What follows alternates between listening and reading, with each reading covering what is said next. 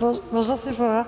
Dites-nous que représente ce concours pour vous Alors pour moi, en fait, ce concours, ça présente l'opportunité de parler, d'attirer l'attention en fait des gens sur une cause qu'on croit oublier, les reste avec, et finalement qui persiste encore. Bah, écoutez, un auditeur même vous écoute. Mesdames, Messieurs, les membres du jury, aujourd'hui je vous emmène dans la Caraïbe. Et non, nous n'allons pas boire de cocktails, nous n'allons pas visiter de plages exotiques. Je vous emmène sur l'île la plus pauvre des Caraïbes, Haïti. Indépendante en 1804, après une révolution très violente, l'ancienne perle des Antilles est passée sans transition d'un système social, ségrégationniste et raciste, fondée sur l'esclavage, à une soi-disant démocratie, fondée sur l'égalité politique. En théorie, l'esclavage y a été aboli dès 1804. Mais si on regarde la définition qu'en donne l'ONU, on est en droit de se poser la question de sa réelle abolition en Haïti. Donc pour comprendre et pour répondre à cette question, on va d'abord s'intéresser à la société actuelle en Haïti. Donc de nos jours, plus de 55% de la population haïtienne vit avec moins de 1 dollar US par jour et par personne, c'est-à-dire en dessous du seuil de pauvreté extrême. Donc c'est face à ces conditions de vie difficiles que certains parents décident de confier leur enfant à une tierce famille en ville, riche. Donc en échange de quelques travaux ménagers, légers bien sûr, très simples à faire, l'enfant est censé recevoir une éducation. Mais non, en réalité, ces enfants deviennent des restes avec, ou des là pour ça. Leur rôle, c'est de travailler. Ils sont là pour ça. Un enfant sur dix en Haïti est un reste avec. Et deux restes avec sur trois sont des filles. Parlons de Christina, une jeune fille de 17 ans qui, en plus de toutes ses tâches ménagères, faire le ménage, faire à manger, faire la lessive, faire la vaisselle, elle doit aussi s'occuper du bébé de la famille elle n'a pas le temps d'aller à l'école. À la moindre erreur, elle se fait battre. Dès qu'elle essaye de parler, de protester, elle se fait fouetter et insulter. Et comme la plupart des filles restent avec, elle est sûrement victime d'abus sexuels. Mais de toute façon, reste avec c'est quoi? C'est un objet, un simple euh, outil du quotidien. Il ne pense pas et donc ne peut pas avoir d'avis. Comment l'ONU définit-elle l'esclavage? Selon l'organisation, c'est l'État ou la condition d'un individu sur lequel s'exercent les attributs du droit de propriété ou certains d'entre eux. Mais finalement, on se rend bien compte que cette définition décrit parfaitement la situation des restes avec en Haïti. Elle semble être faite pour eux. Pourtant, il ne faut pas croire que l'État haïtien ou la communauté internationale reste insensible à ce problème persistant. Haïti a ratifié en 1994 la Convention internationale des droits de l'enfant qui stipule que les enfants ont des droits au même titre que les adultes, au même titre que vous et que moi. En outre, l'article 259 de la Constitution haïtienne stipule que l'État protège la famille, qui est la base fondamentale de la société.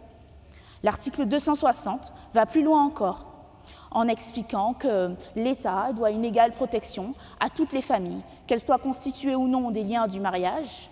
L'État doit procurer aide et assistance à la maternité, à l'enfance et à la vieillesse. L'article 261, pour finir, explique que l'État, la loi, assure la protection à tous les enfants, qu'ils soient issus ou non euh, d'une famille pauvre ou riche. L'État, enfin plutôt chaque enfant, chaque enfant a droit à l'amour, à l'affection, à la compréhension, à l'aide de son père et de sa mère. Le ministère des Affaires sociales et du Travail, bien conscient de ce phénomène, a d'ailleurs mis en place une stratégie de protection de l'enfant. Ce compte-rendu officiel réaffirme avec force ces articles protégeant, l'enfant, mais insiste sur le fait que dans la réalité, ces articles ne sont jamais respectés. Dans la réalité, ces articles qui protègent les enfants ne sont jamais appliqués. Donc dans ces conditions, peut-on toujours affirmer que l'esclavage a été aboli en Haïti? Finalement, la situation des restes avec, leur sort, est exactement le même que celui des esclaves d'avant 1804. Comme le Code noir de Colbert le définissait, des objets du maître, des sujets du roi, des biens meubles dont il fallait prendre soin, car ils étaient coûteux, mais que l'on pouvait abîmer sans craindre de vraies représailles de la part de la justice royale. Finalement, rien ne semble avoir changé.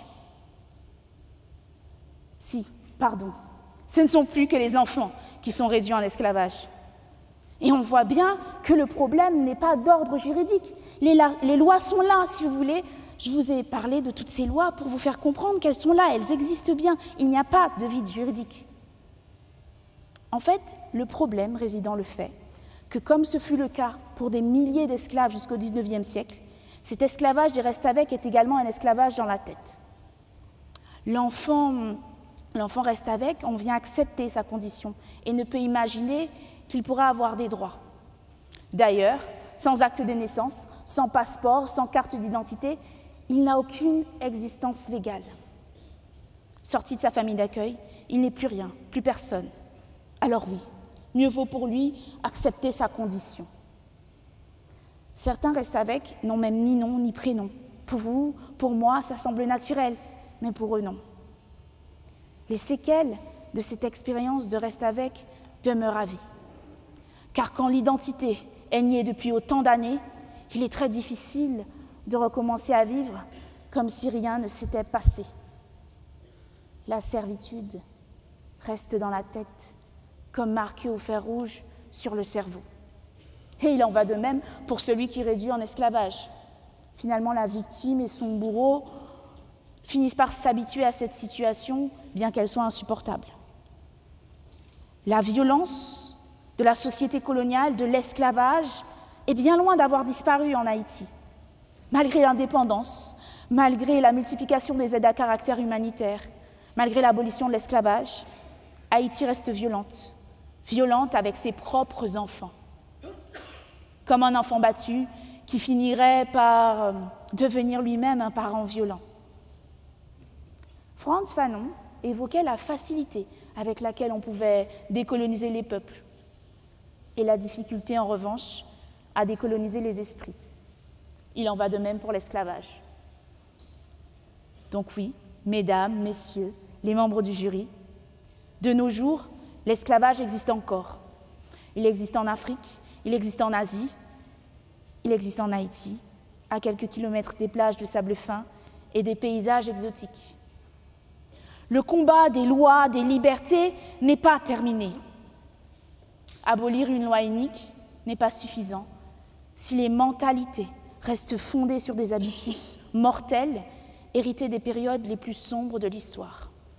La solution à ce problème des restes avec n'est pas d'ordre juridique. La solution, c'est l'éducation. Et l'éducation n'avancera pas si la puissance publique reste écrasée par l'économique. Merci beaucoup.